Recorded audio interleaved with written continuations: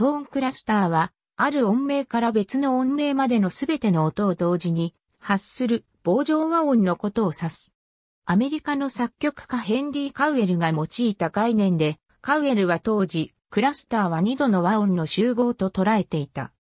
ヘンリー・カウエルの楽譜におけるピアノのトーンクラスターのレープレージョスカンデプレなど、ルネサンス音楽の一部は、数十声部における重厚なポリフォニーを駆使し、それらの曲では、各声部全体がほとんど巨大な一つの塊となって聞こえる。これは、ジェリュジ・リゲティが提唱したミクロポリフォニーの概念をすでに備えていると言える。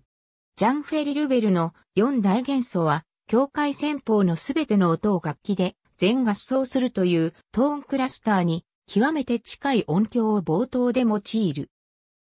モードによるクラスターは、現代の作曲家では、アルボペルトやペトリス・バスクス、クヌート・ニーステッドなど、バルト三国や北欧の作曲家、また吉松隆、北爪道夫などが多用している。また、すでに18世紀には、ハープシコードの鍵盤をすべて抑える指示が見られるが、効果音以上の発展には至っていない。19世紀には、シャルル・バランタン・アルカンが、打ち上げ花火助走と即興作品55の集結部において、低音のトーンクラスターを用いている。カウエルはまず、手のひらや肘で、ピアノの数多くの鍵盤を抑える実験から開始し、その結果は、数多くのピアノソロ作品に現れている。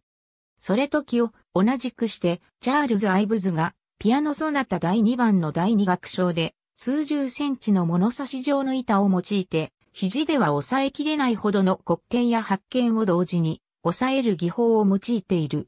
これら2例がトーンクラスターの黎明期の重要な作品とみなされている。ヘンリー・カウエルピアノ曲集にはマヌナーンの潮流でトーンクラスターを1912年に15歳で発案したと発表し、最近までこの説は広く信じられていた。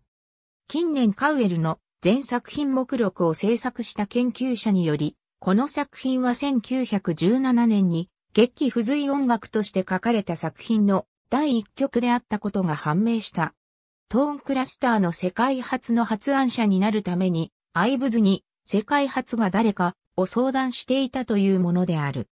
アイブズ自身も自作曲のミスリードを行う癖があったことも、災いして、カウエルがトーンクラスターの発案者として世界を駆け巡ることをアイブズに約束した。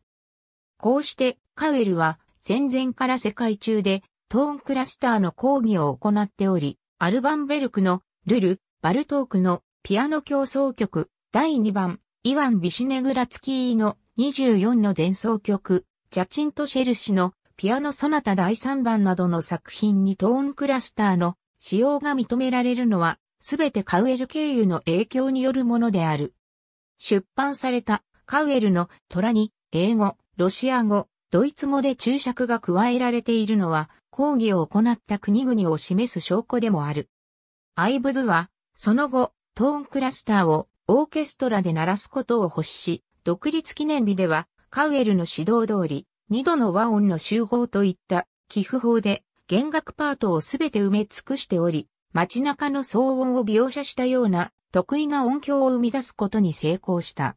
以上の戦前までのトーンクラスターは、ほぼ単発的な効果音としての使用に限られており、カウエル本人もこのような使用方法しか思いついていなかった。戦後、カウエルやアイブズの発案したトーンクラスターについてダルムシュタットにおいて様々な議論が戦わされることとなった。その最初の問題作が、マウリシオ・カーゲルが作曲したオルガン独奏のための追加された即興、ジェルジ・リンゲティが作曲したボルーミナである。カーゲル作品では、通常のオルガン奏者の他に二人の音線上手が必要である。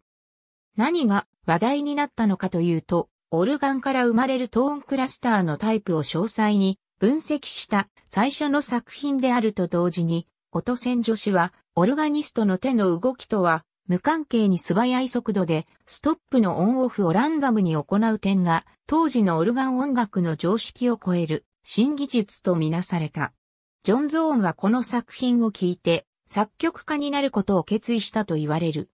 リゲティは、すでに、マイクロポリフォニーの探求の延長線上でトーンクラスターを生むことに成功したが、彼もまたオルガンに興味を示した時期がある。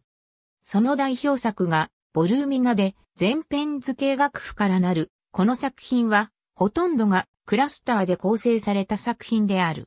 オルガンが壊れるというほどの音像を示す瞬間もある。事実、初演の際の練習では、オルガンの電気系統の一部がショートし、煙が吹いたという逸話もある。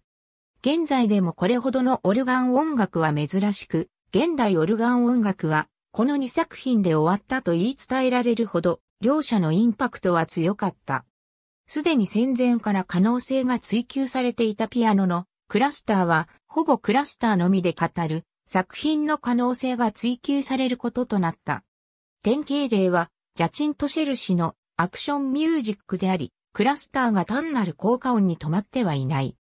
カール・ハインツ・シュトックハウゼンのピアノ曲第10番は指先のない手袋をはめたピアニストのための作品で、クラスターのグリッサンドや肘などのクラスターの音響的インパクトが大変に華麗で、1960年代に書かれたピアノ作品の傑作と伝えられている。アンソニー・ブラクストンのコンポジション第32番は全曲がクラスターで構成された確定作品である。一柳聡のピアノ曲第6番はインストラクションのみでクラスターとグリッサンドに素材を限定した不確定作品を作曲した。前衛の時代から遠く離れてサルバトーレ・シャリーノのピアノソナタ第4番ではクラスターと装飾音のみで全曲を構成するキーなピアノ曲を発表した。この作品では片手のみで鍵盤の前後域を瞬時に往復する、極めて困難な技術が用いられるために、演奏頻度が希少である。モーリッツ・エッケルトのヘマークラフィーや第3番ワンマンバンドでは、左足でピアノの低音域クラスターを奏する指示があり、右手と左手と左足の三世のテクスチャーが織りなされる箇所が印象的である。アイブズのような二度の和音の体積といった概念から離れ、特定の音名からまた違う音名までを塗りつぶす音響を最初に考案したのはイアニス・クセナキスであり、その弦楽器によるトーンクラスターはパートを分割して音を埋める範囲の各音に各奏者を割り当てる方法をとったり、音を埋める範囲をグリッサンドで上下する方法が取られた。彼の初期作品の与えた衝撃は大きく、日本とポーランドの作曲家を中心に影響を与え、後者は第一次ポーランド学派としてブランド化する。クセナキスのクラスターをより単純化して楽譜化した作曲家にクシシュトフ・ペンデレツキとヘンリク・グレツキがいる。ペンデレツキのクラスターは横に持続する響きの帯であるが、グレツキの用いるクラスターは激しい断絶音として用いられるのが特徴である。1960年代以降は彼らだけにとどまらず、前衛作曲家たちに広く用いられる定番技法とみなされるようになった。合唱曲における積極的な最初の使用例は、ジェルジ・リゲティのパパイ夫人であるが、当時、リゲティは、チャールズ・アイブズの存在も知らず、バルトークが弦楽四重奏で初めて用いていた、ハモントーンクラスターをアマチュア合唱団向けに全音階で積み重ねた。